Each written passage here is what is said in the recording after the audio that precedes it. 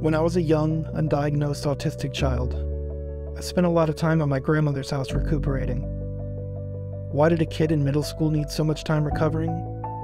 Because when I was in middle school, I spent most of my time being laughed at, singled out, ignored, or flat out bullied by almost everyone who came into contact with me.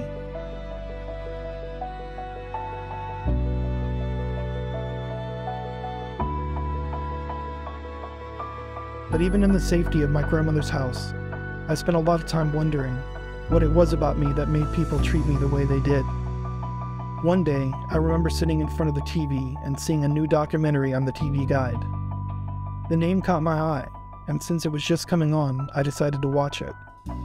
This documentary talked about a surreal phenomenon that made humanoid objects that imperfectly resembled actual human beings provoke feelings of uneasiness and revulsion in observers.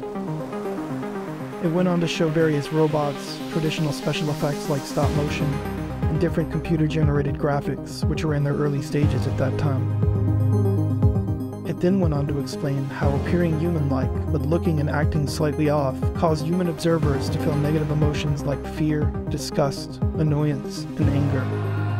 All of the emotions people often felt towards me for just existing. Suddenly, I couldn't breathe as a rush of fearful realization paralyzed my body memories of countless people calling me robotic, telling me there was something alien about me, and even people telling me I make them uncomfortable or creep them out.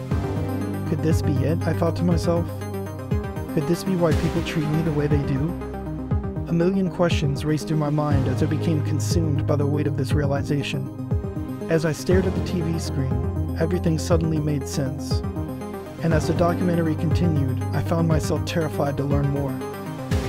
I found myself stuck in the uncanny valley.